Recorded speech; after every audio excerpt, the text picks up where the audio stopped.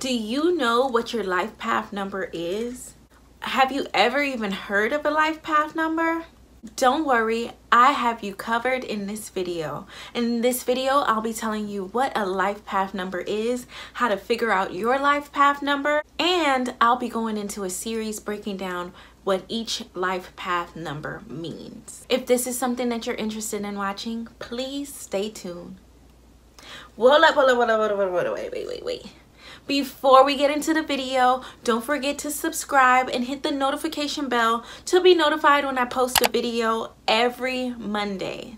I learned about life path numbers about three years ago and it helped me to more understand myself in a dynamic way we all know we're just not one zodiac sign our moon sign our sun.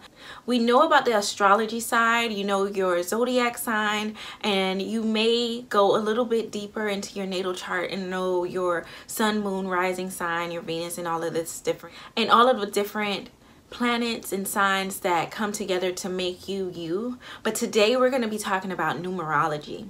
Your life path number is one of the most important numbers that you may come across. Your life path number gives you a broad outline of the opportunities, the challenges, and lessons you will encounter in this lifetime.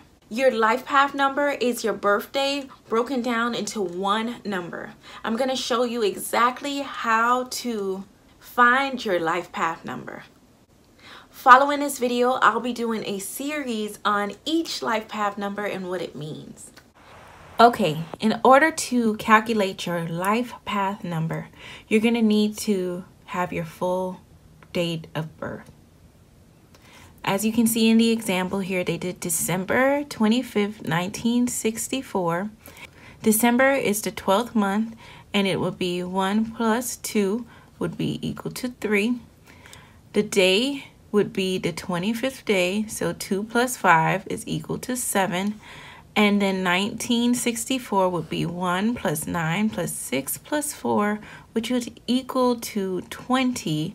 Any double digit you want to break down uh, to get to a single number, unless it's a master number, like 11, 22, 33, numbers like that.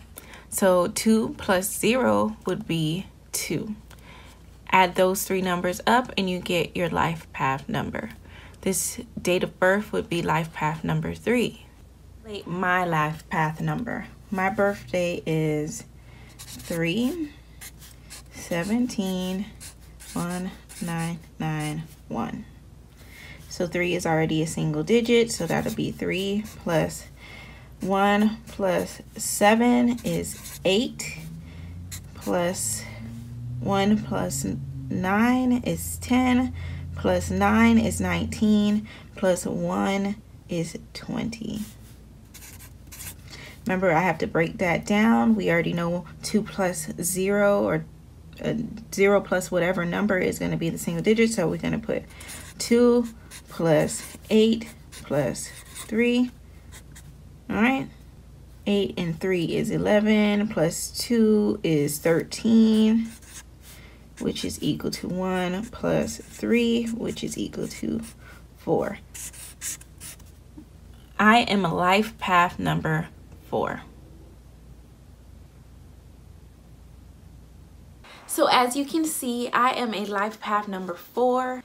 If you like this video, don't forget to comment down below. Give it a thumbs up and share with a friend.